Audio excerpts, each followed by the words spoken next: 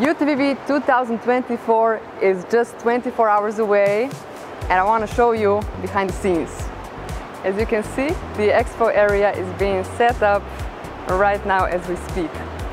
And at this moment, I also want to mention all the runners that are running Gladiator and Legionnaire can come pick up their bib numbers today at 4.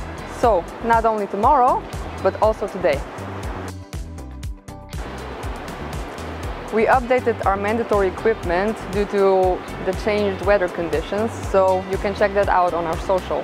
But in the meantime, let's go check out food. We are the most important department for runners, food.